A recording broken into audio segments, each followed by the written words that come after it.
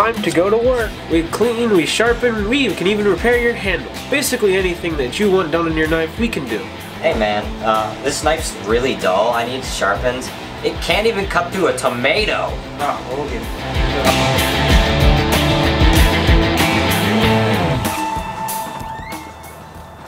So, what do you think? We're Cincy Sharp. If you need a knife sharpened or you are interested in picking up a new one, come on down and see us. Remember, don't be dull and stay sharp.